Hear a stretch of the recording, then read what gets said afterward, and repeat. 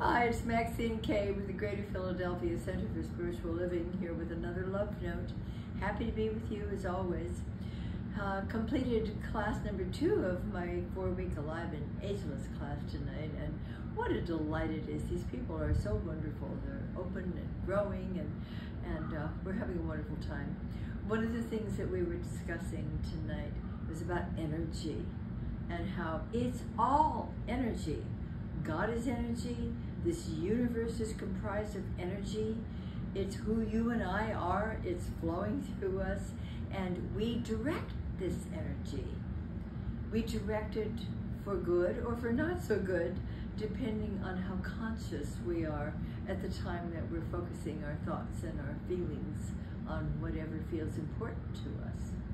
So knowing that everything is energy and it transforms it makes it easier for us to stand to understand that we can change conditions by changing the energy in our consciousness.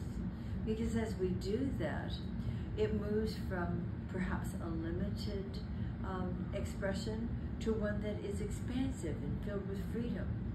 Everything is energy. You and I are comprised of it. Of course, when we breathe in that divine life, it energizes us. When we breathe out, we feel relaxed and peaceful. There's something wonderful about breathing. Please don't stop. and it's just another way that, that this divine life moves through us.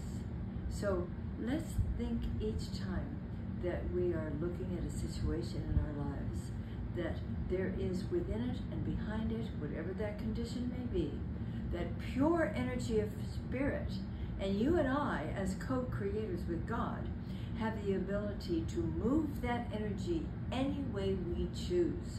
Let's make the right choices and move it into higher perspectives, into a greater consciousness, into a greater vision and a greater realization that this world is something that is waiting for us to make even more beautiful. And we can do that. We must do it. First of all, by not getting too caught up in the conditions that are happening.